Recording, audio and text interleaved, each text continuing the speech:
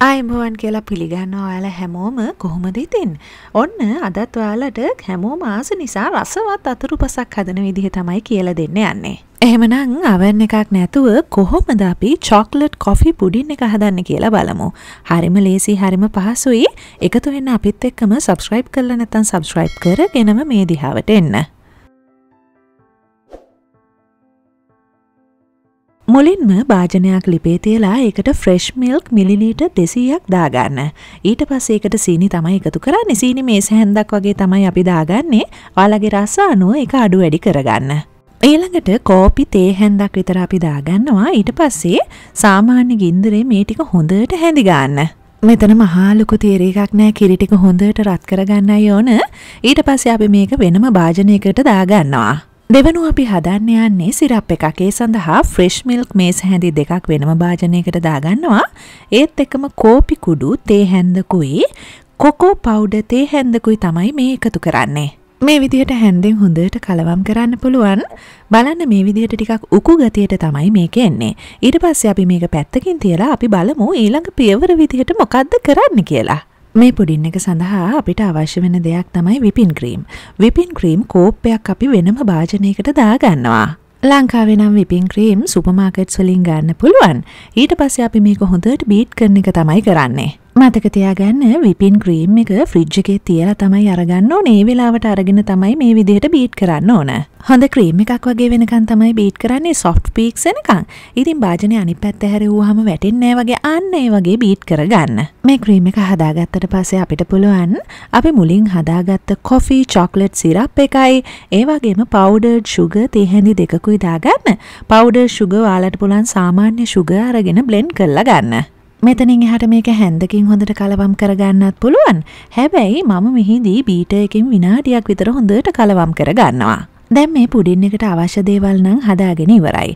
ඊට පස්ස අපි ඇසෙම්බල් කරන්න තමයි හදන්නේ ඉතින් මේකට අපි බිස්කට් වර්ගයක් යොදාගන්නවා අපි නං යොදාගන්නේ රස්ක් බිස්කට් එක හරියට නිකං හුළං විස්කෝතු වගේ ඉතින් මෙහ පොඩි වර්ෂන් එක තියෙනවා එක තමයි මම යොදාගන්නේ ඔයාලට මේකට කැමති බිස්කට් වර්ගයක් යොදාගන්න පුළුවන්. මේ වගේ වැඩක් කරනකොට මම ආසම මේ පුඩින් එකේ ලස්සනම කොටස තමයි මේක.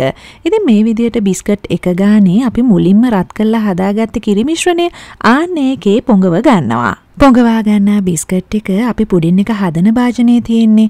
ඉතින් අන්නේ භාජනයේ අඩියේ අතුරා ගන්නවා. මේ පුඩින් එක ලේයර්ස් විදිහටනේ හදන්නේ ඊළඟ ලේයර් එක විදිහට අපි හදාගත්ත ක්‍රීම් එක මේ විදිහට හැන්දෙන් අපි ගා ගන්නවා.